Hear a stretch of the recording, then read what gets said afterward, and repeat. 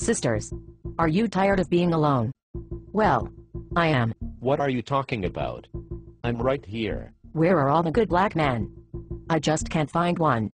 What, am I invisible or something? I got my BA from Spelman College and my JD MBA from Wharton. I'm a pew jumpin', Bible thumpin', tambourine waving, non fornicating Christian who believes in the Lord and follows everything in the Bible. Oh.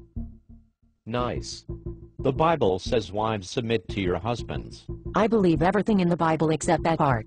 Anyway, like I was saying, I can't find any good black man. What are you looking for? I want a man who earns six figures. That's me. A man who has integrity, good character, good credit and loves his mom. Me, me, and me. Hi mom. A man who will pay all the bills, yet recognize I'm an independent woman. What, how can you be independent when someone else pays all of your bills? A man who can take charge, lead, and direct his household. At least until I disagree with his direction. Then he must turn over his balls and give them to me, because I'm a strong professional womanist. If he doesn't do this, I will take him for 25% of his gross income in my divorce settlement, and I will ruin his kids for life and forever turn them against him. Oh. K. A man who will make me laugh, who's a thug, that can fit in with the boys in the boardroom. A man who can kick it in the neighborhood, and on the golf course.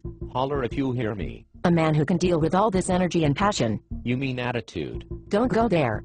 I have 911 on speed dial. I want someone who is supportive and not threatened by the fact that I have a career and am a strong independent woman. A man who knows I don't need a man and will open doors and pay for every dinner and date we go on. Wow, that's confusing. Career minded, strong, independent woman who doesn't need a man, but you expect to have your way through life, paid for by your man. A man who won't bug me for sex more than four times a month, even though he does have 300 million new sperm pumping through his testicles on a daily basis. I only have one egg, and he better get used to being spayed and neutered during his prime, and for the next 30 years of his life.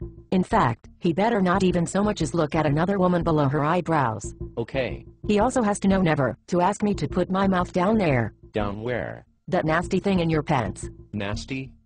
Yes. Also, he needs to be man enough to deal with a heavy woman as I will probably add 20 pounds around my gut after 5 years of marriage. Wow. Well, you drive a hard bargain. But, because I love you so much, I'm willing to make the sacrifice. Nah. You're too weak. I need a man with the backbone who won't let me run all over him. Besides, you're not 6 feet 5. And that's a deal breaker.